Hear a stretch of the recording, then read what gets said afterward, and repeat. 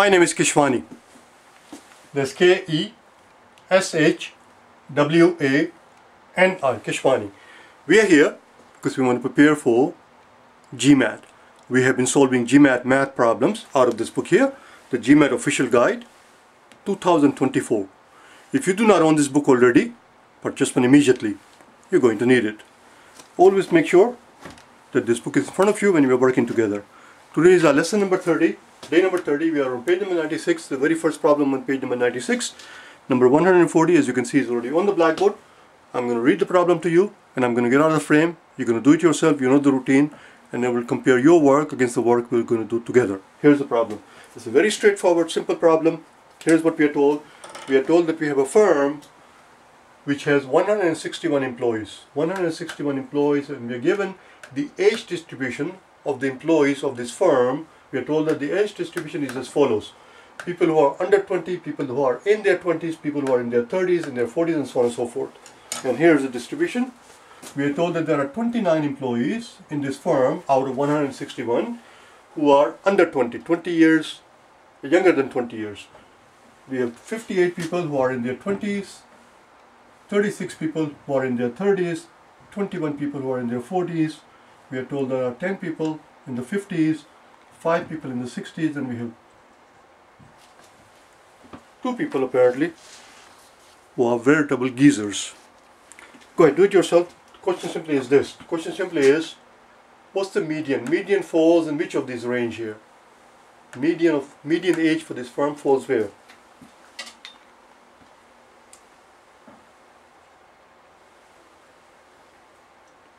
Well, let's see what we can do.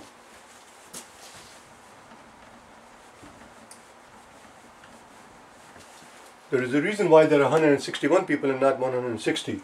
There are 161 people, which means if you were to divide into half, we'll have 80 people on this side, and then we have 81st, and then we have 80 more people on this side.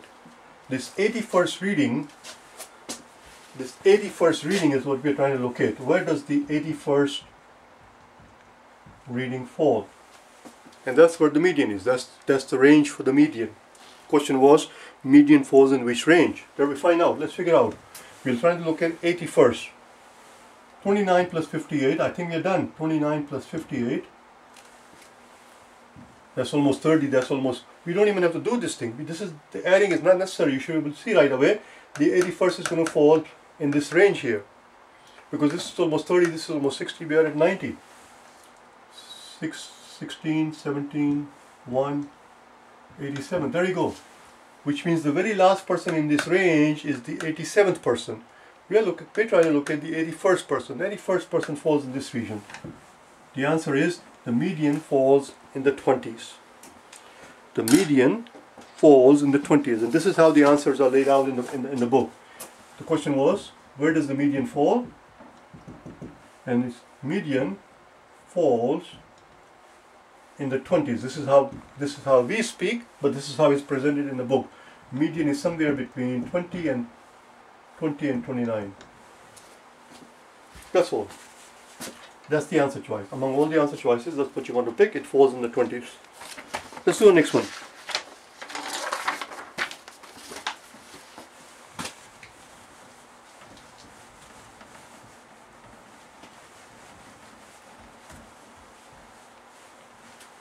We are told, number 141, we are told that k and n are positive integers. They are positive integers. We are further told that n is more than k, and here's what we want to find out. k factorial plus n minus k times k minus 1 factorial. And here's what we're being asked. Are simply being asked to simplify this expression. Don't worry about the fact that I am sloppy, I'm always always sloppy. Sometimes I write a small k, sometimes all of a sudden it appears as a big k. It's not a big deal, it's the same thing. Obviously in the book it, it's not like that. We're being asked to simplify it. Go ahead, do it yourself.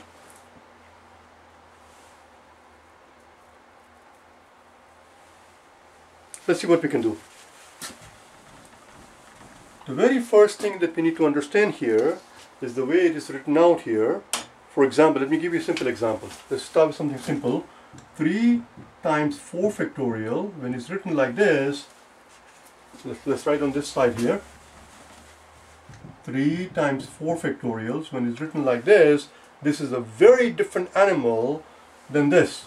3 times 4 with the parentheses around it. Those are two very different quantities, very two different very animals, two, two, two very different animals. This is 12 factorial. That is not what we're dealing here. What we're dealing here is this, is we take 4, figure out what 4 factorials is, and whatever the answer is, you multiply by 3. The only difference is that in the book, in the exam, instead of putting a multiplication sign to annoy you, they put a dot, a big dot. Actually, a dot is huge and it's dark.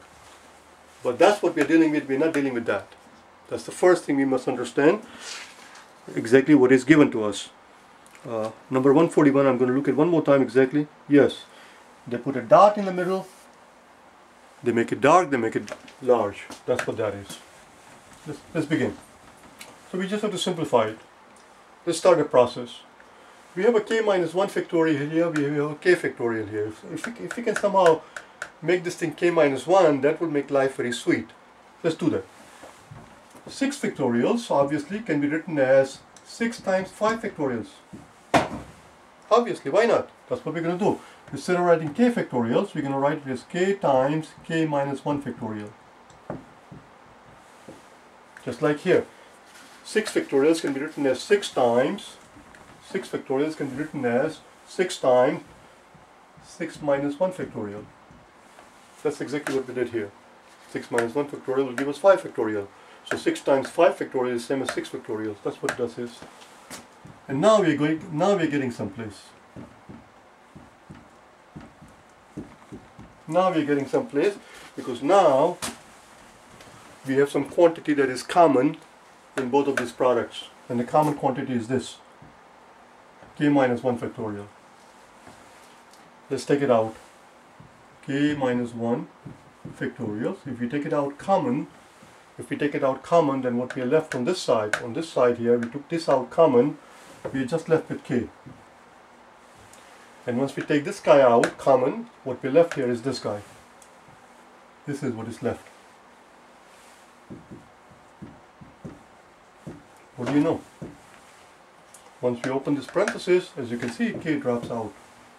And what we are left with is n times k minus 1 factorial. That's the simplified version of what is given to us originally. This is about as about as simplified as, can, as it can get. We cannot simplify any further. That's about it. Let's do 143. 142 rather.